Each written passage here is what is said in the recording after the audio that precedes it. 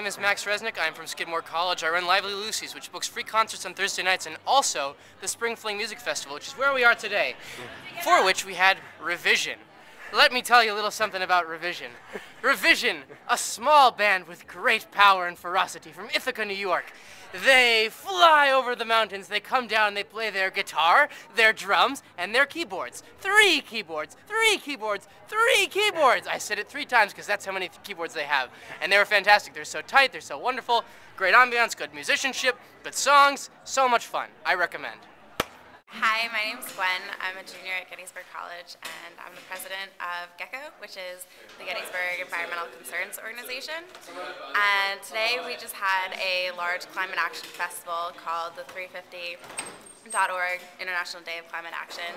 We had a climate action festival, or rally, to raise awareness in the community about the safe maximum level of carbon emissions in the atmosphere. And then following our rally, we actually had an awesome concert with Revision. The band was phenomenal and they just had so much energy. It was awesome. So we had a really great time today. We're at Alfred University. I'm the president of Green Alfred. I also work on environmental research for the university through President Edmondson.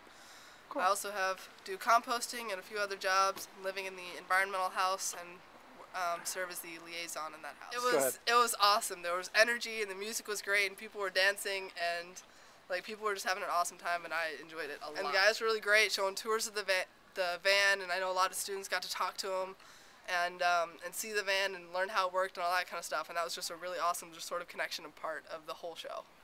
I'm Alan McIntyre. I'm the program coordinator, environmental program coordinator for uh, Proctor Academy, and we had revision uh, to uh, headline our Earth Day celebration in, in the month of May.